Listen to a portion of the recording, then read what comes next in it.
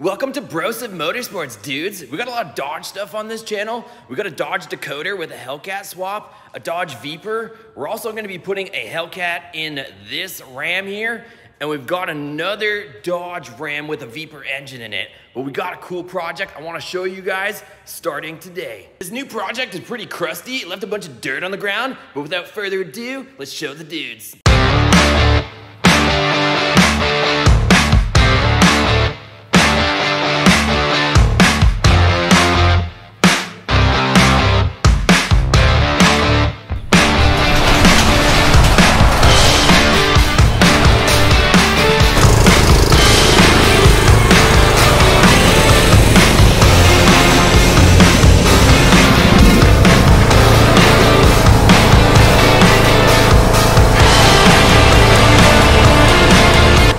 My dudes, how sick is this thing?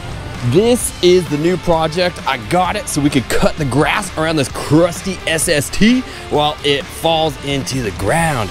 Check out under the hood. It's got so many ponies. Oh, jeez. So don't worry about that. We'll fix that later. Check this out. It's got one seven and a half John Deere ponies and it's got a big deck on it. I think it's like 42 inches. That's the biggest I've ever heard in my life. I think the headlights might be broken, so maybe we'll put a HID kit in it. And it's got 20 by 8 super swampers, turf, and surfs. But let me know what you guys think of all these crusty projects.